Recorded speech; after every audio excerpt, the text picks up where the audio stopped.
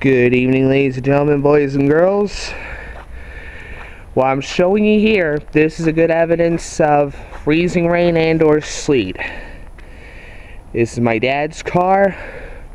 When I was out here trying to make the best out of the snow a little earlier, this was light and fluffy. Now, take a look. See that?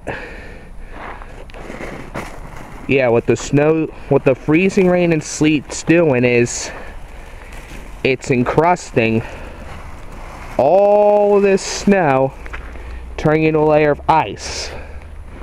When the rain, when the plain rain takes over the layer tonight, this is all gonna turn into slush. But yeah, look at that. That is pure freezing rain and sleet right there on top of what probably would be a nuisance event. But this is what's happening right now. Warmer air aloft is slowly warming the atmosphere from the top down.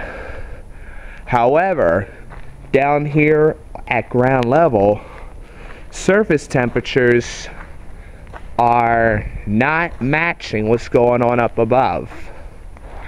So the end result, we are currently getting some freezing rain.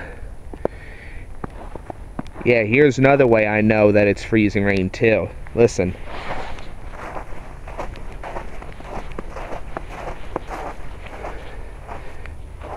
When I was out here earlier, you heard the inevitable crunch, crunch, crunch from when it was the light and fluffy snow.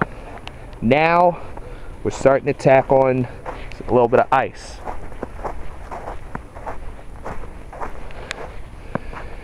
Well, time to hunker down and see what round three has for us.